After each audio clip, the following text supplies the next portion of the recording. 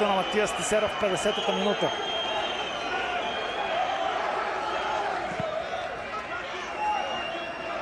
Серджо Пат с максимално силно изритване към Бърнар Текпете, който продължава а, да се бори. Фон Витри а, дали ще си изпечели уважението на неутралния фен с тези свои действия, но Валенчинков ще го санкционира с жълт картон.